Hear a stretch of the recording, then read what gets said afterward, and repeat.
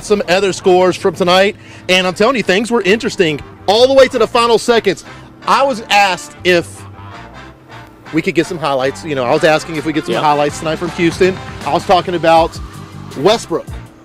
They're playing in the Houston area. Let's get some highlights. I was told, hey, they're going to hang 70 on Houston Lamar. No chance. think. We don't, we're not going to be shooting that game tonight. Well, guess what? It came down to the wire. Westbrook takes it over to Houston Lamar 36 34. That is a very scary final, but it's a win.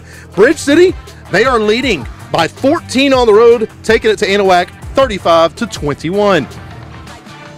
And oh my goodness, what happened to Buna, Ash? That's what I really want to know. We were all about Buna. we were all about being a Cold Spring, 42 to 12 right now. That is the final score. That is unbelievable.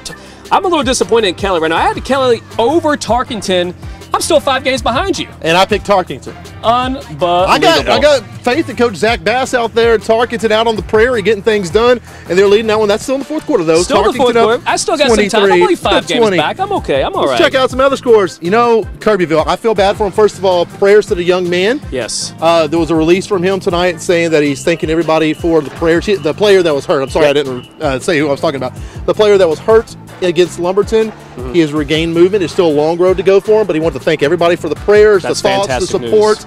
And you know, life is a lot more important than a Friday night football game. It's more than X's and O's, folks. So really we are is. Glad really to see that young man's going to be okay. 32 to 8 though Corrigan-Camden taking it to him tonight. And Warren, I took the Warriors tonight. I feel brilliant. All right, Justin Kelm, you lied to me. I had West Hardin over Warren. How in the world did they even get 43 to 14? 43-14. So what a wild night. You know what was also wild tonight?